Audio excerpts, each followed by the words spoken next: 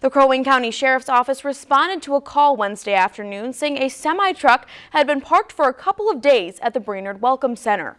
Once deputies got to the scene south of Brainerd on Highway 371, they found a 55-year-old Wisconsin man dead in the cab of the truck. He was then taken to the Ramsey County Coroner's Office for an autopsy.